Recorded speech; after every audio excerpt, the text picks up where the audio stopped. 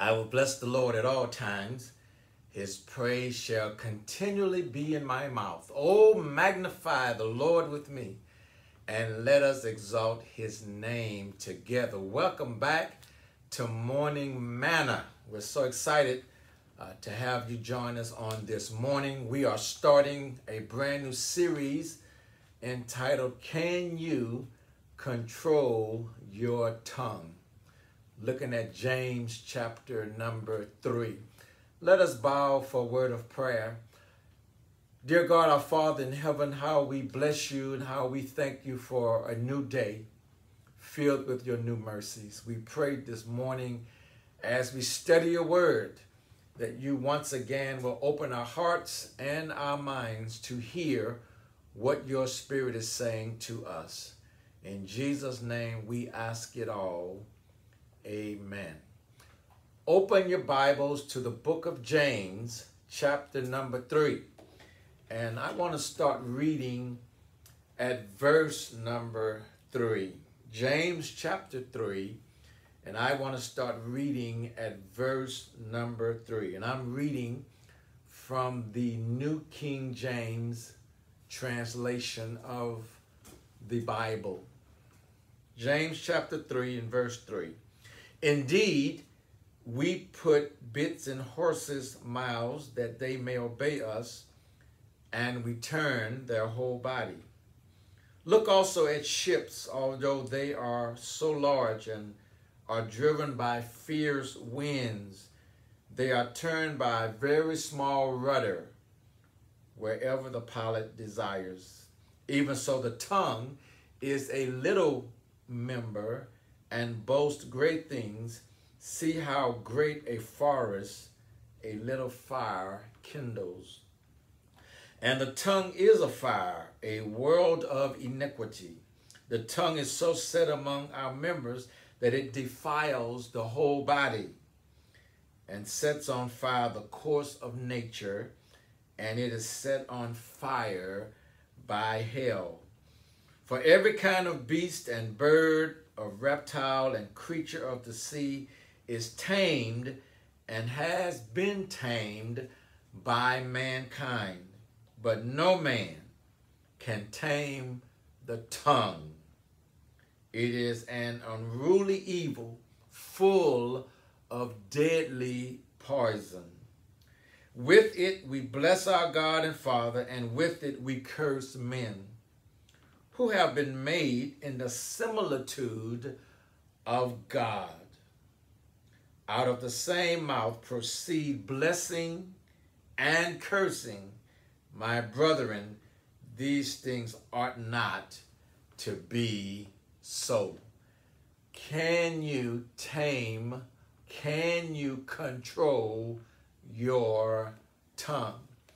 We have all heard the old adage, the old saying, Sticks and stones may break my bones, but words will not hurt me, or words cannot hurt me. Some say names cannot hurt me. Uh, this is an old saying. As a matter of fact, this saying appeared in print in 1862. It was published in what is called uh, the Christian Reporter or the Christian Recorder. The Christian Recorder was a publication uh, put out by the African Methodist Episcopal Church. And in 16 or 1862, uh, this was the first appearance of that saying. Now, I have to uh, say that this is a nice saying. It's a good saying but then this saying, no matter how famous it is, uh, it can be used for motivation. It can be used to encourage someone. But being called negative names, being called uh, out of your name, can indeed be hurtful. We are all sensitive uh, when we feel that we are being attacked, we can be very sensitive when someone calls us a name or calls us some names that don't necessarily define who we are. Uh, so I remember the old saints, my mom, my grandmother, and older saints say, if you can't say anything nice about a person, don't say anything at all. And that's the attitude that we need to have when it comes to using our tongue. Uh, the way we talk and the way we use our words in a conversation says a lot about who we are. Let me say that again. The way we talk and the way we use words in conversations says a lot about who we are. Your words can give life, or your words can speak death. Isn't that amazing how uh, so many people use their tongues to be bullies, or people use their tongues to tear someone down Proverbs chapter 10 and verse 11 says, listen to this.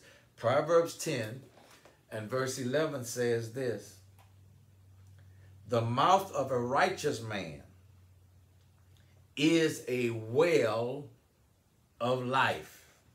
The mouth of a righteous man is a well of life, but violence covers the mouth of the wicked. I like what the NIV says in this verse. It says, The mouth of the righteous is a fountain of life. Let me repeat that. The mouth of the righteous is a fountain of life.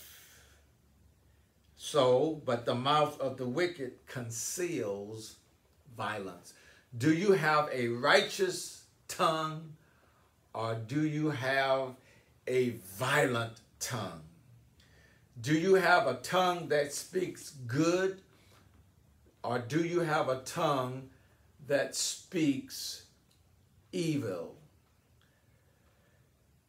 It is very important. It is of the utmost importance that we learn how to control our tongues. You need to learn how to control your tongue. Once negative words leave out of your mouth, you can never retract them. So many people have spoken out of turn or they're spoken without thinking and they've caused a world of pain, a world of hurt, not only to others, but even uh, to themselves. God gave us two ears and one tongue for a reason. Um, so we have to listen twice as much as we talk. Listen twice as much as you talk. Uh, everyone, the Bible says, everyone should be quick to listen, slow to speak, and slow to become angry. That's in the book of James, chapter 1 and verse 19. Let me read that again. Everyone should be quick to listen, slow to speak, and slow to anger.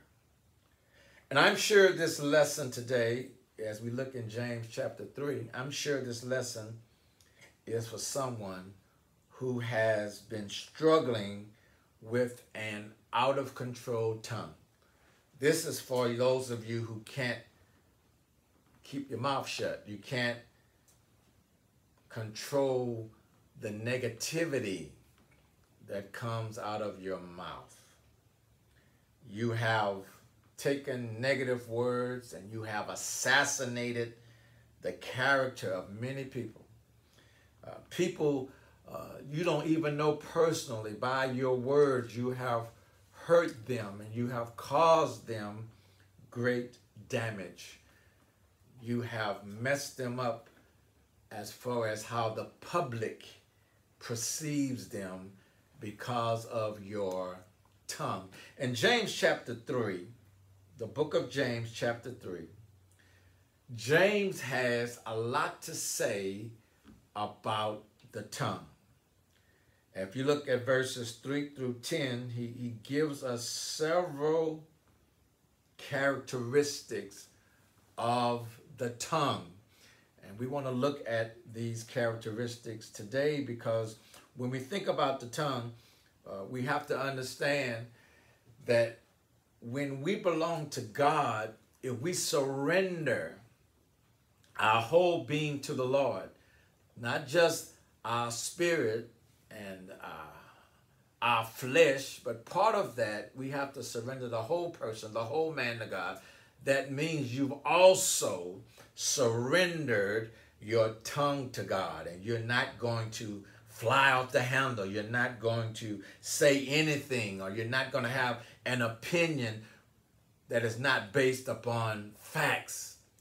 Uh, I said on Sunday in my sermon, it is dangerous to assume things. I, I struggle with people who always have an answer to every problem in the world. They can tell you about your life. They can tell you why you're going through what you're going through. And they don't really have a clue about what they're talking about. So some people just like to hear themselves talk and they're talking without facts. They're talking without evidence. They're talking because that's what talkers like to do. They like to run their mouths even when they're running their mouths out of turn and for the wrong reasons. Let's look at James chapter 3 again, and I, I want to read, I'm going to go back to verse 3. Indeed, we put bits in horses' mouths and they that they may obey us, and we're able to take a bit in the mouth of a horse, and you can turn that whole horse. As big and strong as a horse is, if you could put a bit in their mouth, you have control.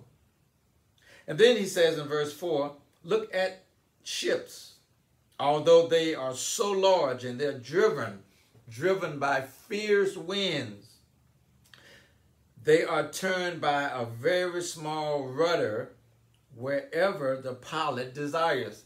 Man can control ships with a rudder. They can turn a whole ship around. They can turn a ship to the left or to the right by something so small. But then in verse 5, he says, Let's look at the tongue.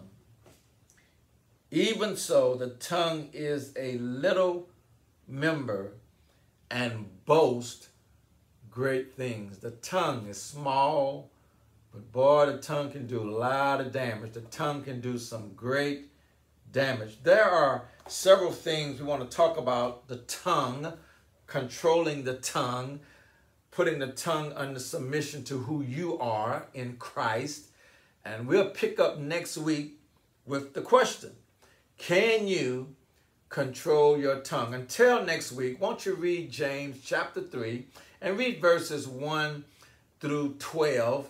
And as we pick up next week about controlling the tongue, we will find some fascinating things James talk about what the tongue is. And I want to break those down uh, next week. God bless you